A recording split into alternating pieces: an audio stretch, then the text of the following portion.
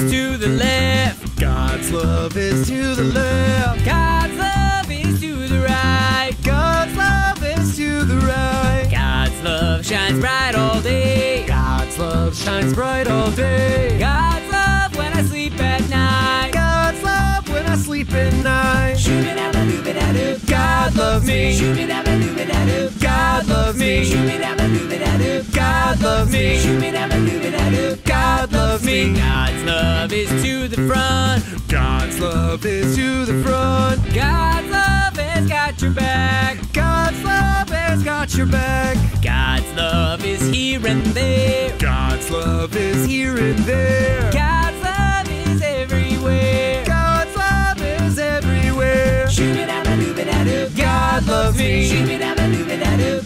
God loves me. God loves me. God loves me. God's love is really high. God's love is really high. God's love is way down low. God's love is way down low. God's love is up and down. God's love is up and down. God's love is all around. God's love is all around. Loves me. God loves you.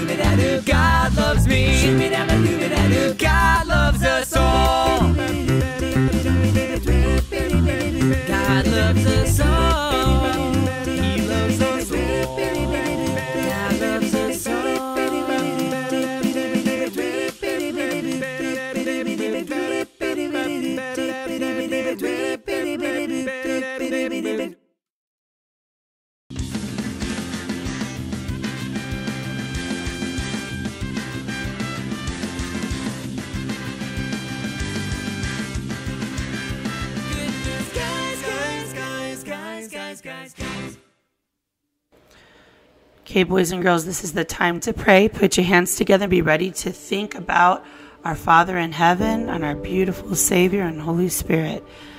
Father God, we praise you. We thank you. We thank you for how wonderful and merciful you are. We ask for forgiveness of our sins.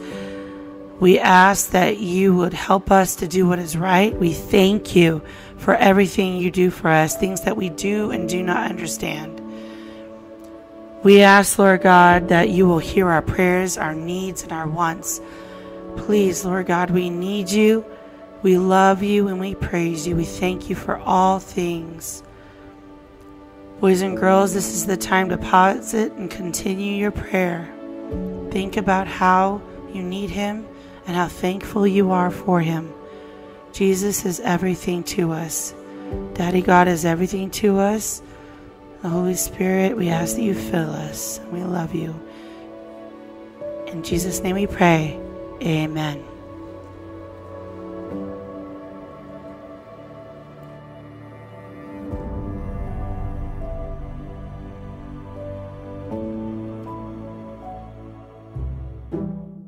This is the memory verse of the week. What? Proverbs 1 8. Proverbs 1 8. Um, Listen. Listen, my son, to your father's instructions.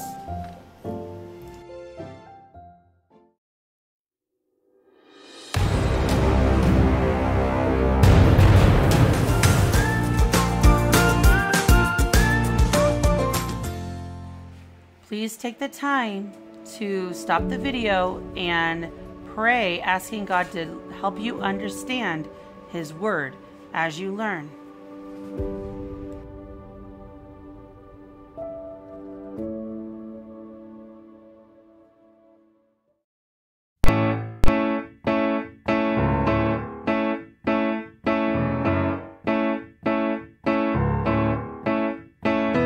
And this is the testimony that God gave us eternal life. And this life is in His Son. Yeah, this is the testimony that God gave us eternal life. And this life is in His Son. Whoever has the Son has life. Whoever does not have the Son of God does not have life.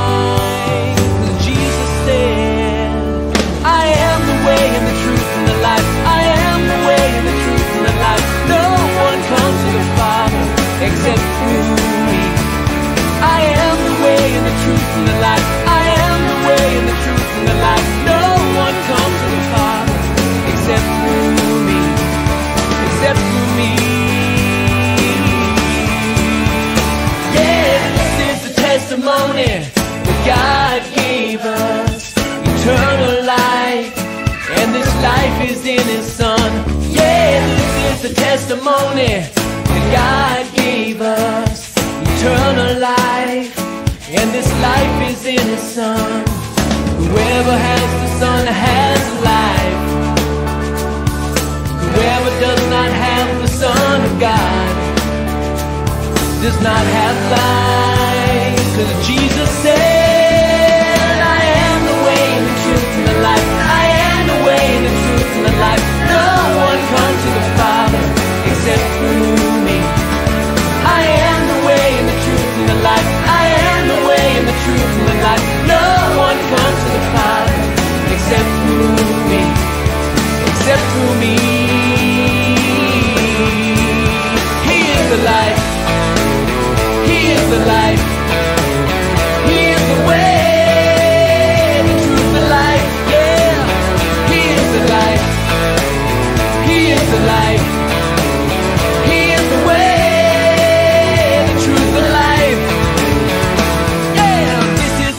testimony that God gave us eternal life.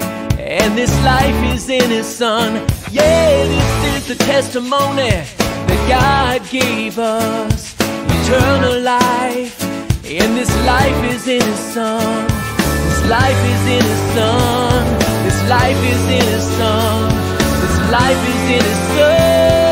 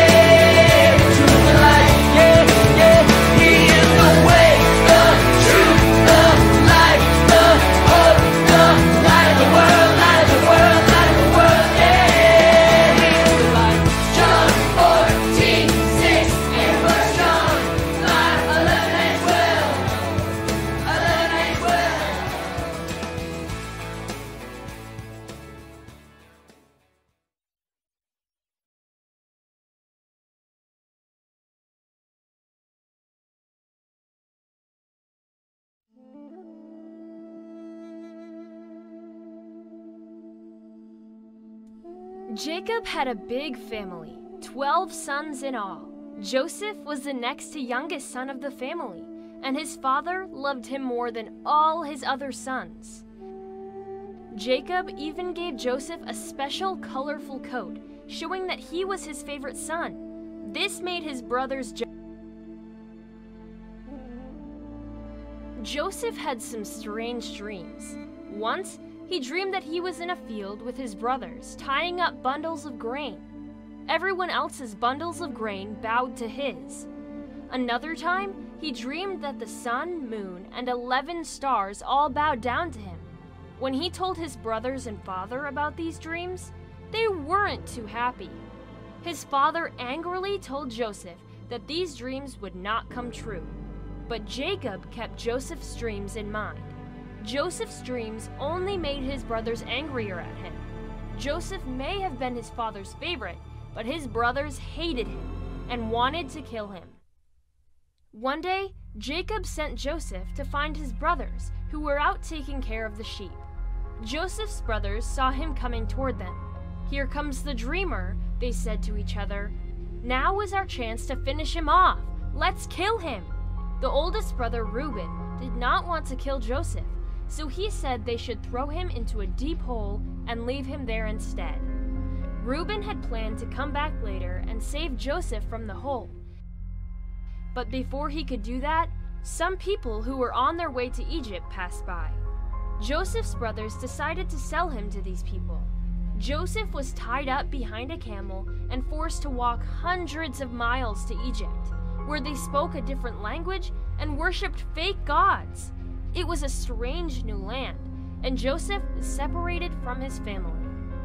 Joseph was sold as a slave to a man named Potiphar, who was a very important man in the land of Egypt. As a slave, Joseph did what he was told. and did a good job at his work. While working in Potiphar's home, he caught the eye of Potiphar's wife, who tried to get Joseph to sin. Joseph refused to sin and disobey God. Potiphar's wife was determined to get her way. One day, she grabbed Joseph and tried to make him sin.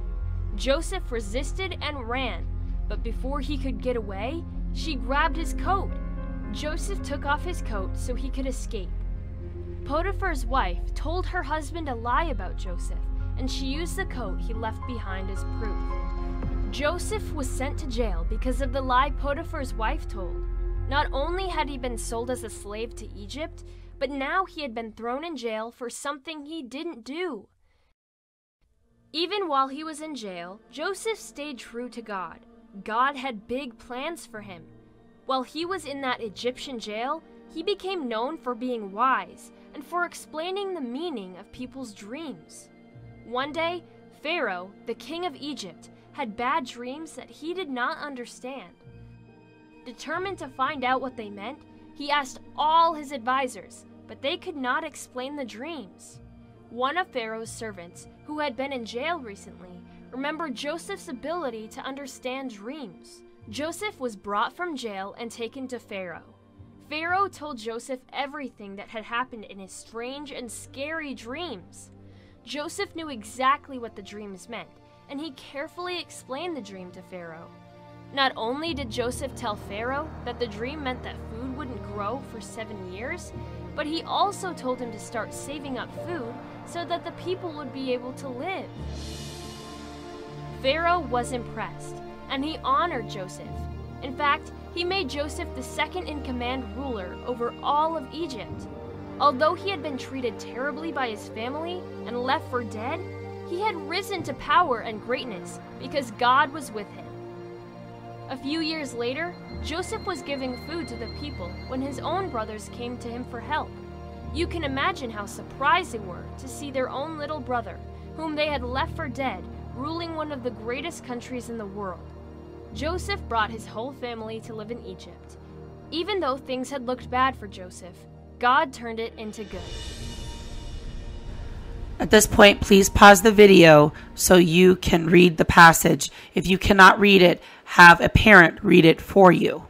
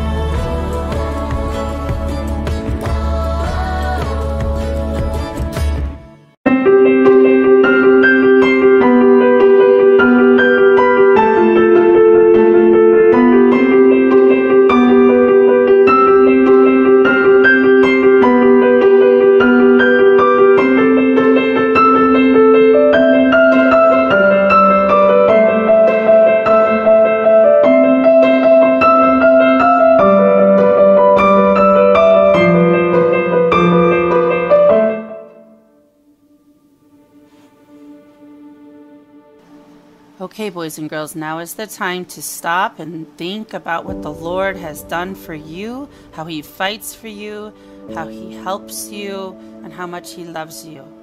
And let's end our day with a game. Everybody, stand up! It's time to play Sit Down If Food Edition. Everybody loves good food. Let's find out what you have and have not eaten before. Each round, I will say sit down if you have eaten a certain type of food. If you have, sit down.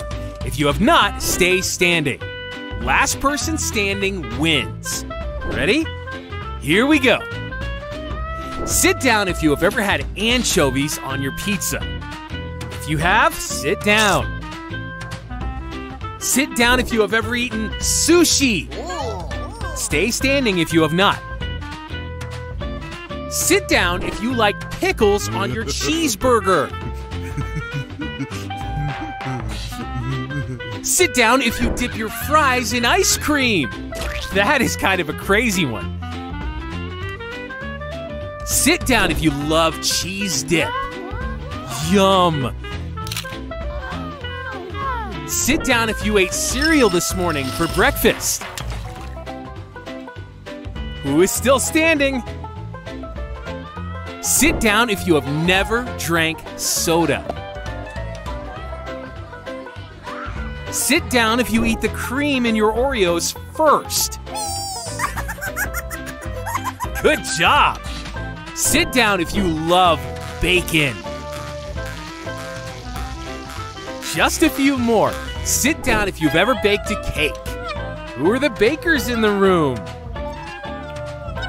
Sit down if you prefer pancakes over waffles. Last one, sit down if you love chocolate. Anyone left? Great job, everyone. Thanks for playing this tasty game.